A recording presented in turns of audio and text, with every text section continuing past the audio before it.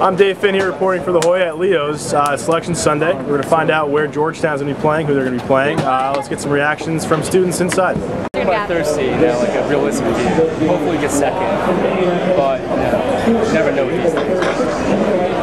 Could be two, probably three. Uh, I think they're going to get a three seed tonight. Yeah. I've heard people talking about it too. Um, good run in the tournament. I think if they had won it, they would have gotten the two. I don't think they're quite going to get there, but three's good. I feel a good run coming on. I think if we play well, we can beat anyone. I mean, tough. I didn't actually get to see the uh, the West Virginia game until the last couple of minutes because uh, our plane got delayed. Um, but I, I feel like when we play well, we can beat anyone.